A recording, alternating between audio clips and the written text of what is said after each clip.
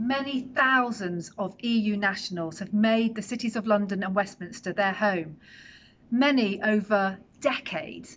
And it's really important now that the deadline of the 30th of June is looming to apply for settled status. So if you haven't done already, please do go to www.gov.uk and search for EU settlement status. It's really simple to apply. And if you have children, dependent children, then it's really important that you apply for them on an individual basis too. If you don't do this, then you could lose access to the NHS and to studying and benefits. So please do remember the 30th of June is the deadline to apply for EU settlement status.